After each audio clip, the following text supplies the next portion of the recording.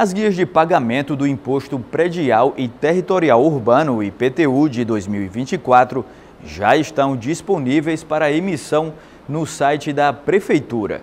Este ano, os maceioenses poderão pagar o imposto à vista com três opções de descontos: o parcelado em 10 vezes, sem descontos. A primeira cota única de 2024 oferece 15% de abatimento no valor total do IPTU e vence no dia 31 de janeiro.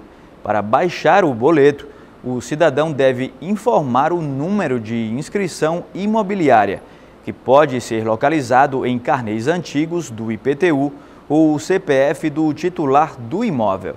A Prefeitura não irá enviar carnês ou boletos físicos para os pagamentos com descontos que serão disponibilizados exclusivamente pela internet.